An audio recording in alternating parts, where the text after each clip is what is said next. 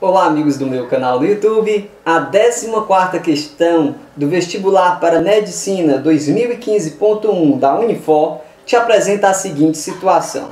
Na Universidade de Fortaleza, a Divisão de Assuntos Desportivos é responsável pelo planejamento e execução dos projetos desportivos, cuja participação é aberta para os alunos de todos os cursos. Em um grupo de 100 alunos da Universidade de Fortaleza, 17 praticam futsal, 19 praticam voleibol, 21 praticam natação, 5 praticam futsal e voleibol, 2 praticam futsal e natação, 5 praticam voleibol e natação e 2 praticam os três esportes. Com base nos dados acima, qual o número de alunos desse grupo que praticam pelo menos um desses esportes? Então, vamos lá!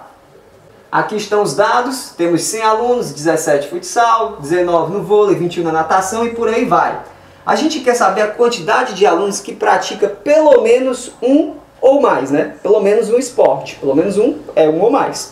E daí, professor, como que a gente faz? Soma tudo? Claro que não, porque 17 praticam futsal, temos essa informação.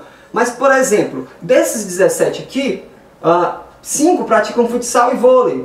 Então se tu somar esses 17 com esses 5, tu vai estar somando duas vezes né, essa galera aqui do futsal e vôlei. Então a gente não pode simplesmente somar tudo, a gente tem que designar em cada região do gráfico a quantidade exata de pessoas. Por exemplo, eu posso garantir que tem duas pessoas, e apenas duas, que praticam as três modalidades. Então preenche o gráfico bem aqui com dois. Beleza. 5 praticam vôlei e natação. Então eu vou lá no gráfico, bom, 5 vôlei e natação, né?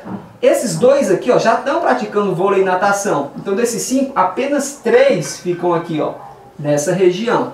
Dois praticam futsal e natação. Futsal e natação. Dois praticam futsal e natação. Já tem dois aqui. Então nessa outra regiãozinha fica zero. Cinco praticam futsal e vôlei. Futsal e vôlei. Tem que ter cinco aqui, ó, no futsal e no vôlei. Já tem dois aqui, então aqui a gente completa com 3. 21 deve estar lá na natação, 21 na natação. Aqui na natação já temos 0 mais 2 mais 3, 5. Então a gente completa aqui com 16. 16 mais 5, 21. Temos 19 no vôlei. No vôlei, até agora a gente já tem 2 e 3, 5, 5 e 3, 8. A gente já tem 8, mas tem que ter 19. Então a gente completa aqui com 11. 11 mais 8, 19. Temos 17 no futsal. No futsal a gente já tem o quê? 0 e 2, 2, 2 e 3, 5. A gente já tem 5 aqui no futsal. Tem que ter o quê? 17. Então nessa regiãozinha aqui, aqueles que praticam exclusivamente futsal são 12, porque 12 mais 5, 17.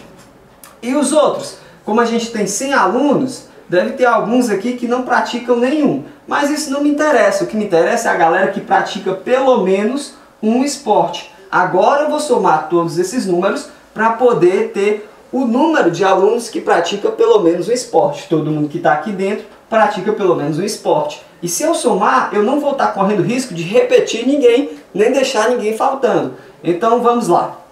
12 e 3, 15, 15 e 2, 17. É os 17 que a gente já tem no futsal. Beleza, essa bolinha aqui, 17. 17 e 3, 20. 20 e 11, 31. 20 mais 11, 31. E ainda temos 16 aqui. Então, somando, o que é que tu encontra? 6 mais 1, 7. 1 mais 3, 4. 47 pessoas praticam pelo menos um esporte. Então, o item correto, meus amigos, é o item C de casa. Eu espero que esse vídeo tenha sido útil para você. Eu espero que ele o tenha ajudado. Um abraço e até a próxima. Tchau!